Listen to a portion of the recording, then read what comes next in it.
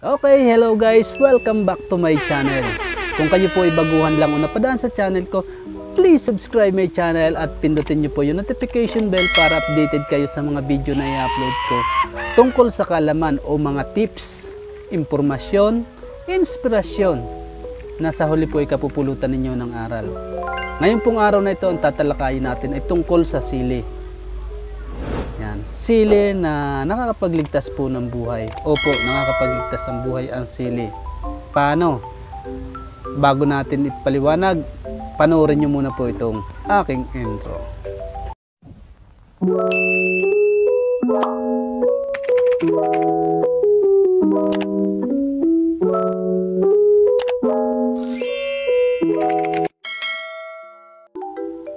Guys, balik po tayo. Alam nyo ba ang sili ay napaka-importante sa ating pang-araw-araw. Bakit ko po nasabi? Kasi po, ang sili po ay nagagamit natin bilang pang first aid. Nakapagligtas po siya ng buhay. Bago natin talakayin yan, ipakikilala muna natin kung ano po ang sili natin dito sa Pilipinas. Ang siling labuyo o sa English po ay wild chili.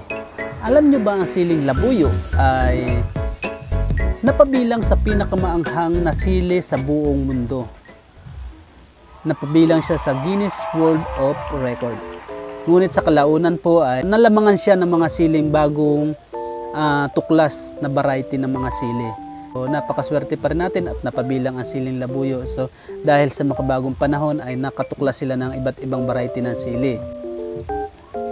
Ang siling labuyo po ay kalimitan nakiting nakikita sa Pilipinas sa kabundukan. Ang tawag natin dyan mismo ay pasete. Sa Mindoro po, pasete. Yung maliliit na sili na yan. Pasete sa iba. Sa iba naman po ay siling bundok. At sa iba naman po ay yung tinatawag na siling palay. Ang iba naman po sa Bisaya at tinatawag na lang katumbal at kulikot o siling kulikot. Yan. Sa Ilocano, ang tawag naman po nila dyan ay siling jablo. At sa Bicol po, ang tawag nila dyan ay lada o rimo-rimo. At sa Ipugaw, ang tawag nila dyan ay taklin. Ang layo dun sa salitang sili, ano po. Pero pare-parehas lang po ang anghang niyan. Walang pagbabago. Sabi nga po ng matatanda, ang siling isang bao ay katumbas din po ng anghang niya ng isang sili. Pare-parehas daw po yan. Sabi lang po ng matatanda. Awan ko. Pero nasubukan na rin po namin magluto niyang ginataan ng sili na yan. Parehas din po ang anghang eh. Isang anghangan din lang. So siguro nga po ito totoo. So wala pa rin nakakapagpatunay niyan. Kung conscious po kayo sa ah, tana, ano na yon, pwede nating i-research natin sa Google. So talakayin natin sa susunod nating video. Ang siling labuyo po ay may scientific na Capsianin protenseslin. At sa mga nagtatanong, bakit po maanghang ang sili? Sa Mindoro po ay mahalang. Sa ibang lugar po ay mahalang ang tawag sa maanghang. Ano po? So, bakit maanghang ang sili? Dahil ang sili po ay nagtataglay ng isang chemical na tinatawag na capsaicin na siya nagbibigay ng anghang. So, yun po yung anghang na yun, yun po yung sinasabi kong napaka-importante sa paggamit natin ng first aid na nakatulong po para makaligtas ang isang buhay. So, may kwento ko lang po dito sa amin, means nagkaroon po ng emergency, walang malay na po yung bata, naninigas na siya, wala na po talagang reaksyon, lupay-pay na siya. Naisipan namin magkasawa na lagyan ng sili. Dahil nga, tinuro kasi sa amin niya ng isang manggagamot na matanda na paniwalaan nyo man po sa hindi, ay siya daw po ay dalawang beses nang namatay. Pinabalik siya dito para manggamot. Yun nga po, yung sili na yan ay naisa, isa sa mga nagamit niya na panggamot sa isang bata. Iyakan na yung mga magulang, tigas na yung bata. Kumuha siya ng sili, inipit niya sa dila, tapos pinisaan niya sa may sikmura. Dinigin daw niya ng medyo parang ano yung, di ba pag matigas na po ang sikmura, dinidigin para lumambot. So, yun, nagka-reaction po yung bata. Awa ng Diyos ay nabuhay daw po yung bata na yun. So, ganito din po yung nangyari.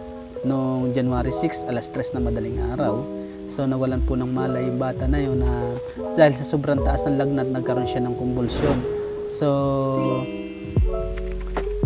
na tumakbo sila dito dahil may tricycle ako para isugod namin sa ospital. Wala na nga daw pong malays. Gawa ko nung asawa ko, tinakbo niya at nilagyan niya ng sili sa may ilalim ng dila. Uh, awa ng Diyos, yung bata po, in, in seconds, nagkaroon po siya ng reaksyon. Kumurap yung kanyang mata. So, dali-dali namin isinugod sa ospital. Tandaan nyo guys, ang sili po hindi gamot. Ito po ay ginagamit lang natin sa first aid. Nga pa rin po nakakapagpatunay sa sensya na talaga pong ito ay gamot. Bagamat marami pong marami pong nakapagpatunay na ang sili po ay maraming sangkap na nakakapagpagaling ang mga dahon nito. So, ngayon po yung bata, balik tayo doon sa topic natin, yung bata po, awa ng Diyos po ay malakas na at naglalaro na parang walang nangyari. Talagang tuwan-tuwa kami dahil sa counting tips na yung binigay sa akin ng matanda na yun ay nagamit namin sa, sa kasalukuyan.